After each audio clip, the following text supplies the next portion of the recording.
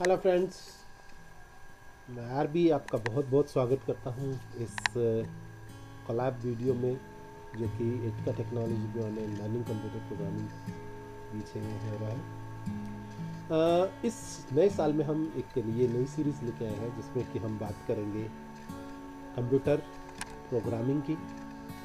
Computer programming क्या होती है?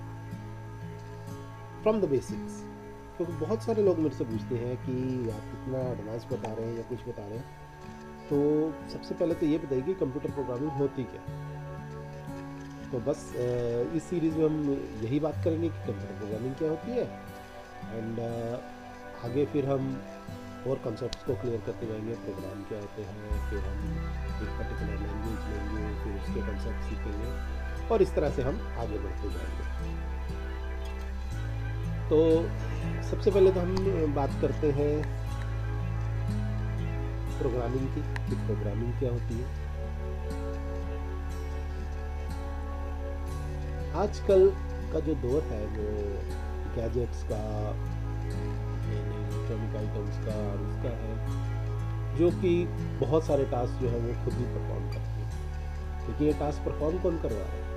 ये स्टेप बाय स्टेप जो प्रोग्रामर डेवलपर जिसने भी ये बनाया है, जो चाहता है कि ऐसे हो, वो आपसे ये काम करे। तो प्रोग्रामिंग जो है वो, हम कह सकते हैं वो सिर्फ़ लिमिटेड नहीं है, सिर्फ़ कंप्यूटर तक कंप्यूटर से आगे भी है, जैसे प्रोसेसर हो गया, या ह्यूमन हो गया, या म्यूज़िक सिस्टम हो गया, या कुछ भी तरह की जो कुछ ज़्यादा परफॉर्म करती है एक्स्ट्रा कुछ देती है, या मल्टी फंक्शनल्स कह सकते हैं जिसको। तो वो जो है प्रोग्रामिंग के द्वारा तैयार की जाती है। तो सिंस यहाँ पर आज हम बात कर कंप्यूटर प्रोग्रामिंग की तो हम इसी को कंटिन्यू करते हैं कि कंप्यूटर प्रोग्रामिंग क्या होती है।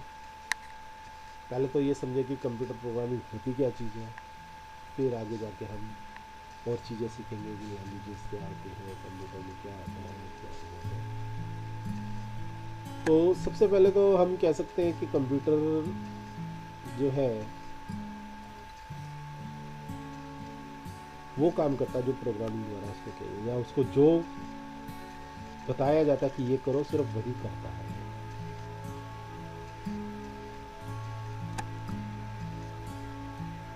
क्या बताया जाता है कि क्या काम करना है और किस ऑर्डर में करना है। तो वही चीज़ है। प्रोग्रामिंग क्या है? एक सिंपल हम कह सकते हैं step by step solution towards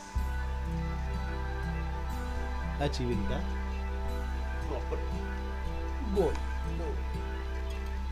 result अभी हमने रिज़ल्ट सोचा हुआ है। उसको कैसे करना है? उसको हमने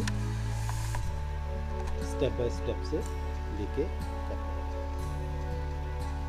तो जैसे कि मैंने बताया कि डिटेल्ड अंडरस्टैंडिंग का प्रॉब्लम प्रॉब्लम समझनी और उसका सोल्यूशन देना बस यही होती है प्रोग्रामिंग एक लाइन लेकिन ये सब सिर्फ़ डेफिनेशन है।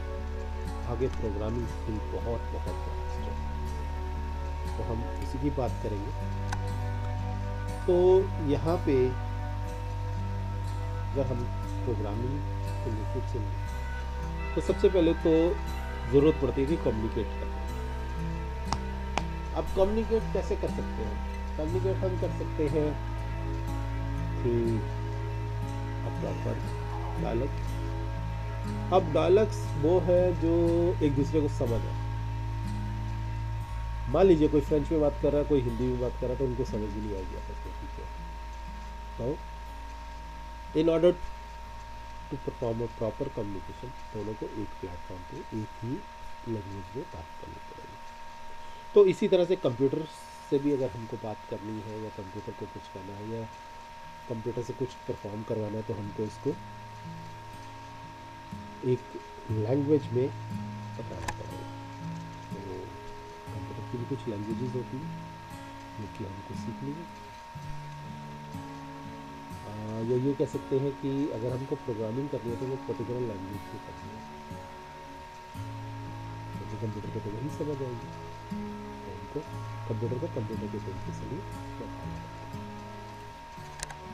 तो देखते हैं कितनी तरह की लैंग्वेजेस हमारे पास अवेलेबल है।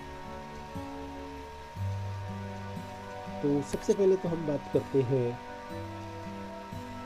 कंप्यूटर की अपनी language that is machine language जो बाइनरी कोड का यूज़ करती है।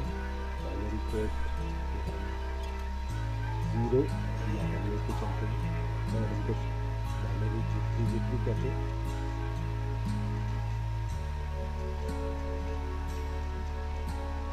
एक बात हो जाए कि ये जो लैंग्वेज है, ये डिपेंडेंट होती है ना? एक पर्टिकुलर कंप्यूटर पे अगर आपने कुछ बनाया है तो ये नहीं है कि आप उसको दूसरे कंप्यूटर में पे वो कंप्यूटर वही समझेगा। इसको हम आगे बाद में डिटेल में कभी करेंगे। तो हम इतने समझते हैं जिस मशीन भी डिपेंडेंट पोर्टेबल लेंगे और जैसे कि मैंने बताया था कि ज़ीरो वन की लैंग्वेज होती है तो इससे कम्बिनेशन ऑफ़ ज़ीरो वन कुछ उसको मिला के जो कि सिर्फ़ कंप्यूटर समझ सकता है। ऐसा नहीं है कि ह्यूमंस नहीं समझते बट ह्यूमंस के लिए बहुत समझना मुश्किल है। इसके लिए डेप्थ नॉलेज चाहिए। और आज के टाइम में क्या है कि हर एक को क्या है कि रेडीमेड चाहिए सब कुछ, कि फटाफट हो जाए। हम कह सकते हैं कि आज की डेट में या आज के माहौल में क्या है कि हम ज़्यादातर जो लोग हैं से नाइन्टी नाइन परसेंट लोग जो हैं, वो यूज़र्स हैं। उनको बनी बनाई चीज़ चाहिए। अब फॉर एग्जांपल अगर हम विंडोज़ की बात करें तो एंड्रॉयड की बात करें वहाँ पे ऐप्स वगैरह हमको सब कुछ मिल बनी हुई है। अब ये तो है नहीं कि हमें किसी चीज़ की ज़रूरत हो तो हम अपने आप उसको चीज़ को डेवलप कर लें ऐसा पॉसिबल नहीं तो जो अवेलेबल है, हम उसको यूज़ करें लेकिन हमारा मोटिव तो वो जो एक परसेंट है, उनको समझते है। नाइन्टी नाइन परसेंट तो हम सब कुछ है, हम समझते हैं क्या है, क्या नहीं। लेकिन एक परसेंट जो लोग हैं, या एक परसेंट का जो काम है, वो हम सकते हैं। तो हम वापस आते हैं बात करते हैं दूसरी तरह की लैंग्वेज की which is nearer to machine language जो कि न्यूमेरिक कोड्स को यूज़ करती है। जैसे बाइनरी लैंग्वेज जो यूज़ होते हैं। मशीन लैंग्वेज होते हैं असेंबली लैंग्वेज में न्यूमेरिक कोड्स यूज़ होते हैं। एग्ज़ाम्पल जैसे मेरे को डिवाइड करना था उसको क्यूब यूज़ कर लेंगे सब्ट्रैक्ट करना तो C S U D use कर लेंगे। ऐड करना तो ए डी डी यूज़ कर लेंगे समथिंग लाइक अब असेंबली लैंग्वेज के बारे में कह सकते हैं। इसे it is also harder to understand because it is nearer to machine language machine language के बहुत पास में है। जबकि इसमें जो है कोर्स हुए हैं इंग्लिश की तरह थोड़े बहुत आसान है मशीन लैंग्वेज के मुकाबले समझने में। बट वही बात है कि मशीन डिपेंडेंट है और पोर्टेबल नहीं होती है। तो अगर एक कंप्यूटर के लिए अगर असेंबली लैंग्वेज में प्रोग्राम लिखा है तो वो उसी में ही चलेगा। ऐसा नहीं आप माइक्रो कंप्यूटर का प्रोग्राम मिनी कंप्यूटर में चला लें या माइक्रो कंप्यूटर का प्रोग्राम किसी और में चला लें। तो ये तो है दो मेन लैंग्वेज जो कंप्यूटर कह सकते हैं कि समझता है, या कंप्यूटर में हम काम करते हैं। Which is very harder to use although assembly language में थोड़ा सा आसानी थोड़ी सी होती है, लेकिन ज़्यादा नहीं होती। तो इन सबको ओवरकम करने के लिए हमारे पास तीसरी तरह की लैंग्वेज आती है, जिसको हम हाई लेवल लैंग्वेज कहते हैं which is a so many languages about twenty five hundred languages I am not sure अभी फिगर नहीं मालूम है।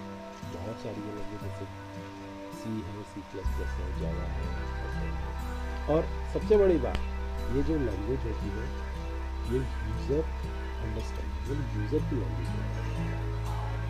यूज़र की अपनी भाषा में होती है, जिसको यूज़र समझ सकता है, जैसे इंग्लिश हो गई या हिंदी हो गई फ्रेंच हो गई, या कोई भी अलग अलग लैंग्वेज हो।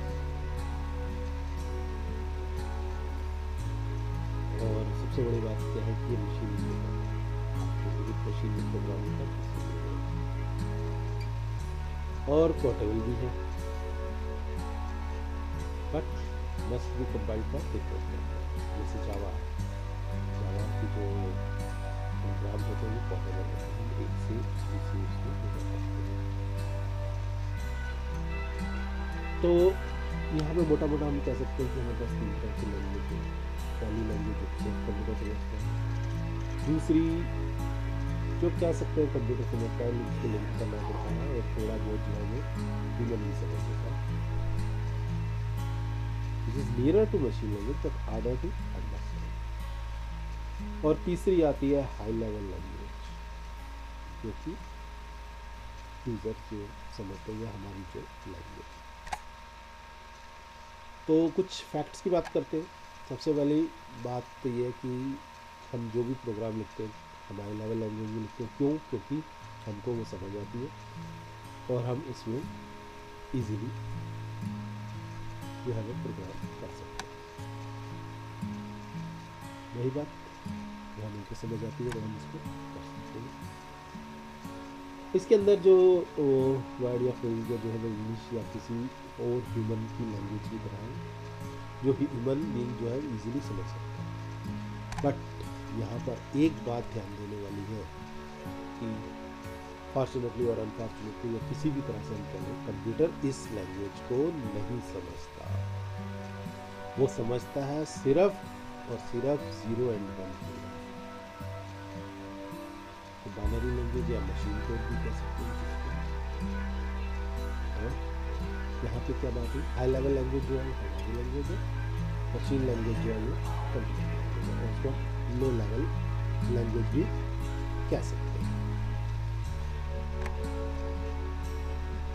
तो आगे बढ़ते हैं, थोड़े और फैक्ट्स की बात करते हैं। ज़्यादातर ये प्रोग्राम जैसे मैंने बताया पहले कि हम हाई लेवल लैंग्वेज में लिखते हैं और उसको हम सोर्स कोड बोलते हैं। अब इस सोर्स कोड को मशीन कोड में बताना क्योंकि कंप्यूटर जो है, वो सिर्फ़ मशीन कोड समझता है। तो ये काम जो है, बहुत दो इम्पोर्टेंट टाइप के कॉन्सेप्ट सॉफ्टवेयर या लिंकर्स कह सकते हैं, जो इसको लिंक करते हैं दैट इज़ कंपाइलर और इंटरप्रेटर आगे जाके हम अभी डिटेल में करेंगे कंपाइलर और इंटरप्रेटर क्या हैं तो अभी के लिए हम बस इतना ही समझते हैं कि कंपाइलर और इंटरप्रेटर वो प्रोग्राम थे जो हाई लेवल के मशीन लैंग्वेज में हाई लेवल लैंग्वेज को लो लेवल लैंग्वेज में कन्वर्ट करते इस वीडियो में बस इतना ही। अगले वीडियो में हम बात करेंगे कंपाइलर एंड इंटरप्रेटर की।